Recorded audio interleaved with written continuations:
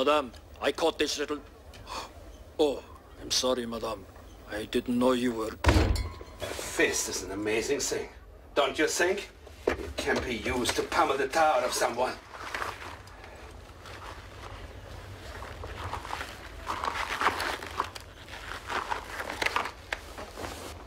Or it can be used to knock. It won't happen again, madame. He was sneaking around the kitchen. Do you know what's happening today?